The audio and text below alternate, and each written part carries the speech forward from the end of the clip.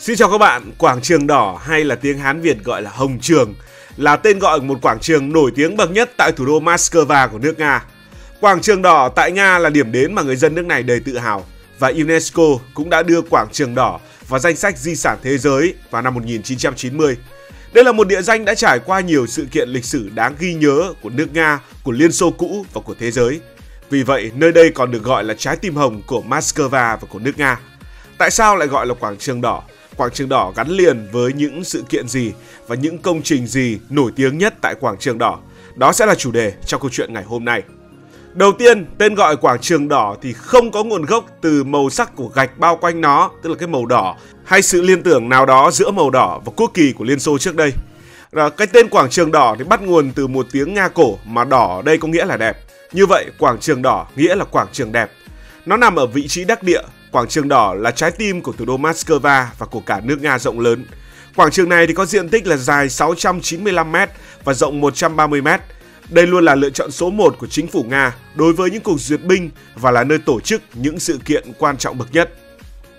Khu vực mà hiện nay là quảng trường đỏ thì trước đây là những công trình được xây dựng bằng gỗ, nhưng sau đó đã bị ờ, phá hủy vào cuối thế kỷ 15 do những cái công trình này rất là dễ cháy. Lúc đó thì nó chưa giống một quảng trường bởi vì tất cả chỉ đều là những cái công trình ngổn ngang mà thôi. Sau đó thì một cái khu vực mới đã được tạo ra, nó dần chuyển thành nơi diễn ra những hoạt động thương mại chủ yếu tại Moscow. Khi đó tên gọi của nó là quảng trường thương mại, nó giống như một khu chợ lớn vậy. Và trong quá khứ thì thương nhân từ khắp nơi trên thế giới đã đến đây để buôn bán.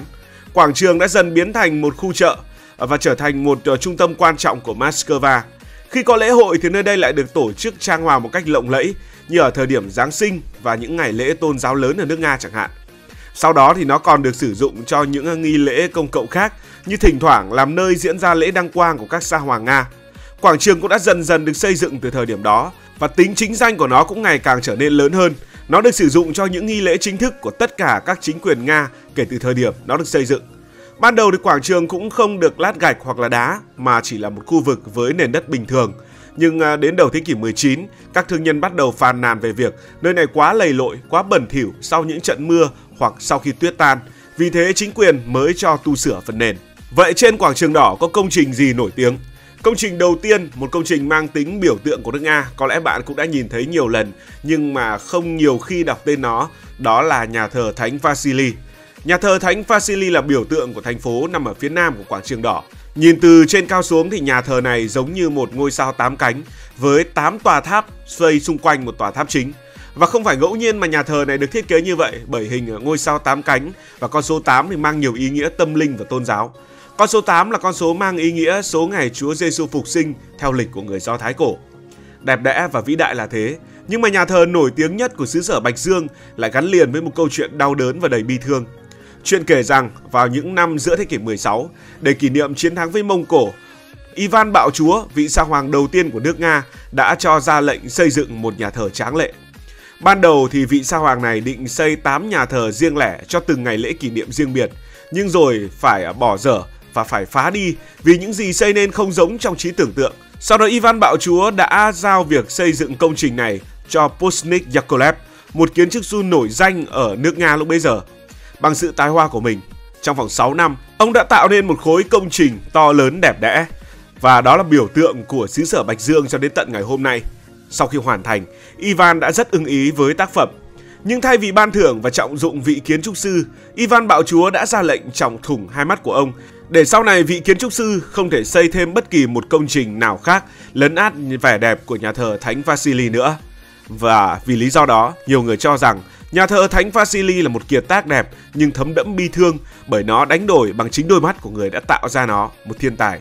Nhưng cũng không ít người cho rằng đây chỉ là một truyền thuyết và vị kiến trúc sư nổi tiếng bị mù là do một căn bệnh đã phá hỏng đôi mắt của ông. Trong suốt chiều dài lịch sử của nhà thờ, đã có nhiều hơn một lần nó có nguy cơ bị phá hủy. Lần đầu tiên là khi Napoleon Bonaparte chiếm đóng Moscow vào năm 1812. Truyền thuyết kể lại rằng trước vẻ đẹp ngất ngây của nhà thờ Thánh Vasily, Napoleon đã quyết định đưa nhà thờ này về Paris. Nhưng khi biết điều này không thể thực hiện được, Napoleon đã ra lệnh dập sập nhà thờ. Nhiều ký thuốc nổ đã được gài khắp nơi trong nhà thờ. Ngòi nổ được châm, lửa bắt đầu cháy. Nhưng rồi một cơn mưa đã ập đến dập tắt ngọn lửa và cứu sống nhà thờ Thánh Vasily. Napoleon cho đó là một điểm và ông đã không dám làm gì với nhà thờ này. Từng là tòa nhà cao nhất ở Moscow và trải qua nhiều thời kỳ lịch sử thăng trầm của nước Nga vĩ đại. Ngày nay, nhà thờ còn được tôn vinh là một trong những kỳ quan của xứ sở Bạch Dương, thu hút hàng triệu lượt khách du lịch đến mỗi năm tham quan và chiêm ngưỡng. Công trình nổi tiếng thứ hai đó là Điện Kremlin. Điện Kremlin là một công trình đã quá nổi tiếng rồi và từ Kremlin cũng đã trở thành một cách hoán dụ để chỉ chính quyền Xô Viết và những nhà lãnh đạo của chính quyền này, chẳng hạn như là bí thư, chủ tịch hay à, tương tự như bây giờ thì người ta còn dùng từ Điện Kremlin để chỉ chính quyền của Liên bang Nga. Kremlin à, theo tiếng Nga có nghĩa là một dạng thành quách và địa điểm hiện tại của điện trước đây là một công trình quân sự và ngày nay Điện Kremlin vẫn đóng góp vai trò như một thành quách. Ngày xưa thì cung điện là nơi mà Nga Hoàng ở và điều hành triều đình và ngày nay cung điện được sử dụng vào mục đích chính trị. Những cơ quan cao cấp hàng đầu của Liên bang Nga đều có văn phòng đặt ở đây. Từ điện Kremlin thì nhìn thẳng ra quảng trường đỏ. Trong này thì lại có những hạng mục công trình khác, ví dụ như là cung điện Kremlin tráng lệ, nhà thờ Kremlin tôn nghiêm, tường thành Kremlin uy vũ và tháp Kremlin hun hút. Để mà bảo vệ cho phần chính của cung điện thì người ta đã xây dựng tường thành và tháp canh trong suốt những à, năm từ ờ, cuối thế kỷ 15 với chiều cao trung bình từ 5 cho đến 19 mét, chiều dài tường lên đến từ 3,5 cho đến 6,5 mét và tổng chiều dài của tường bao là hơn 2 km. Công trình nổi tiếng tiếp theo ở quảng trường đỏ không thể không nhắc đến đó là lăng Lenin. Lenin đã rất quen thuộc với người Việt Nam chúng ta rồi. Ông qua đời vào năm 1924 Mặc dù ông có nguyện vọng được chôn cất ở Saint Petersburg cùng với cha mẹ của mình, nhưng lãnh đạo Liên Xô lúc bấy giờ là Stalin vẫn thúc đẩy quyết định ướp xác của Lenin. Đầu tiên thì uh, lăng Lenin được làm bằng gỗ. Trong những năm chiến tranh vệ quốc vĩ đại, thi hài Lenin được sơ tán về vùng Uran.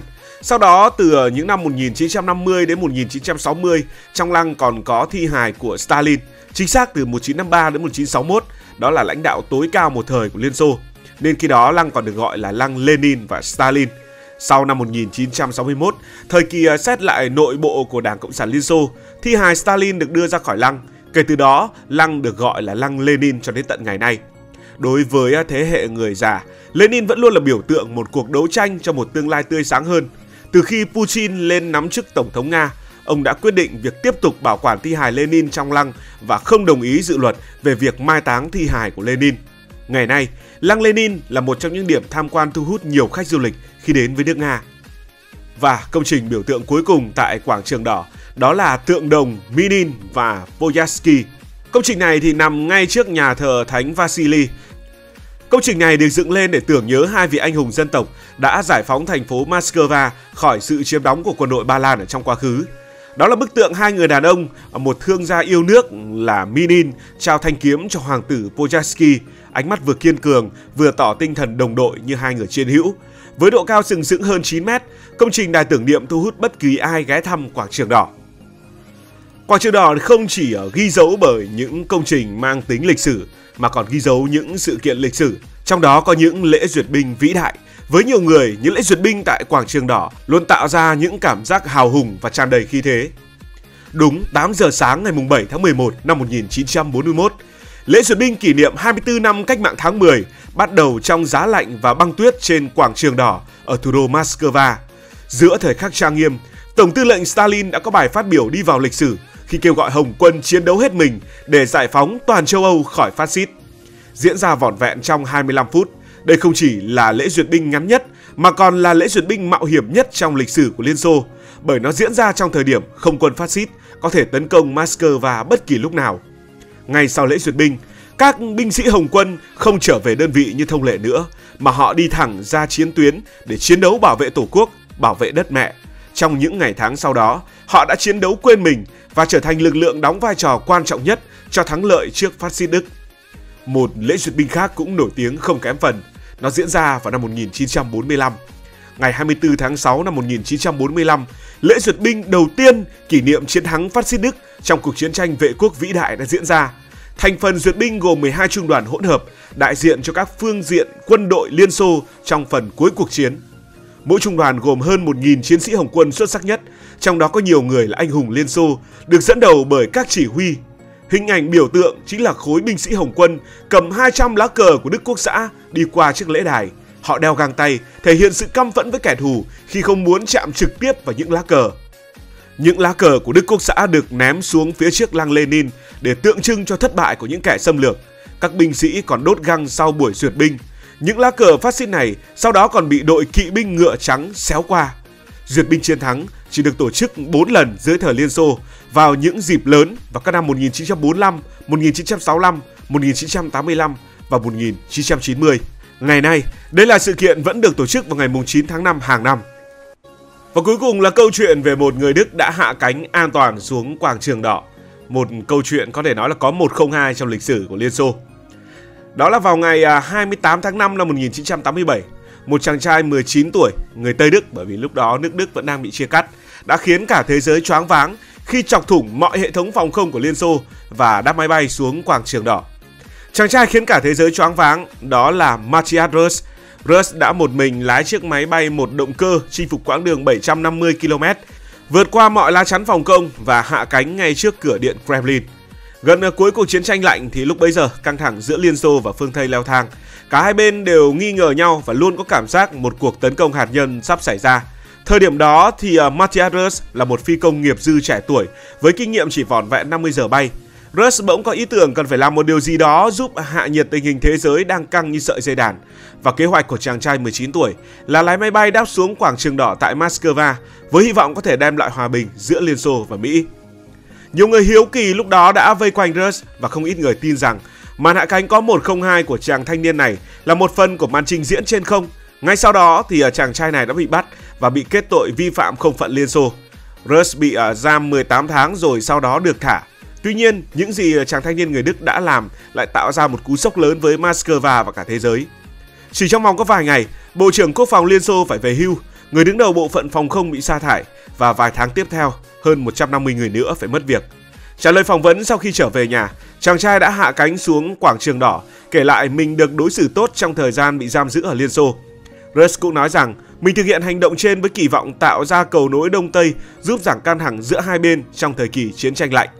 Sau này trong một lần phát biểu trước báo chí vào năm 2012, chàng trai năm ấy đã trưởng thành hơn, thừa nhận hành động lúc trẻ của mình là quá bồng bột và nói rằng chắc chắn tôi sẽ không lập lại chuyến bay đó. Giờ nhìn lại thấy hành động đó thật là vô trách nhiệm. Và đó là điểm kết trong câu chuyện ngày hôm nay về quảng trường đỏ. Cảm ơn các bạn vì đã quan tâm theo dõi câu chuyện này. Nếu mà cảm thấy thú vị, bạn đừng quên nhấn nút đăng ký kênh, bật chuông thông báo và chia sẻ. Còn bây giờ thì xin được nói lời chào tạm biệt